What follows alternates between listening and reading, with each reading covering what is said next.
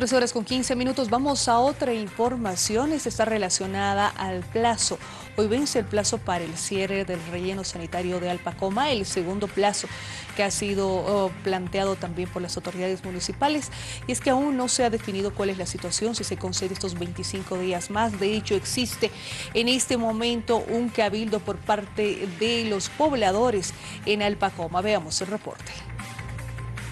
Este martes 18 de junio venció el plazo para el funcionamiento del relleno sanitario de Alpacoma y el municipio paseño espera la autorización del plazo para la ampliación de dicho funcionamiento, la misma que aún se encuentra en evaluación en la Gobernación de La Paz.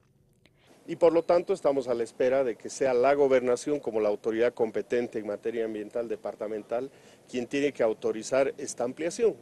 Y en el curso de estos siguientes días, estos 20 días que hemos solicitado de ampliación para utilizar Alpacoma, también tiene que autorizarse ya el funcionamiento de estas nuevas celdas en el relleno transitorio. Entonces, hasta el día de hoy tenemos que tener la aprobación de la ampliación de plazo de Alpacoma. Por su parte, el subalcalde de Achocalla manifestó que tras un cabildo que se realizó, comunarios de la región determinaron pedir a la Gobernación de La Paz presente un informe técnico, legal y social para analizar si existe la posibilidad de realizar dicha ampliación del funcionamiento del relleno sanitario. No obstante, también no solamente es el aspecto técnico legal, también hay que ver eh, el aspecto social, si están de acuerdo los vecinos, pero los vecinos del lugar donde está involucrado el relleno sanitario, van a decir los vecinos de Apacoma y Ojeta.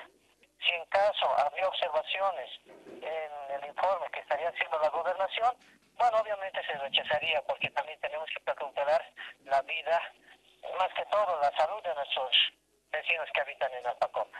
Por su parte, el Comité Cívico de La Paz señaló que le da plazo a la Alcaldía de La Paz de cinco días para que presente su plan de cierre, porque ya pasaron más de 120 días desde que se provocó el deslizamiento en dicho relleno.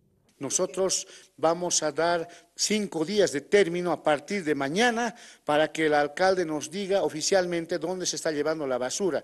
Esperamos que en el transcurso de estos días no se llene de basura nuevamente nuestra ciudad de La Paz. Caso contrario, las movilizaciones vamos a tener que empezar junto con muchas organizaciones e instituciones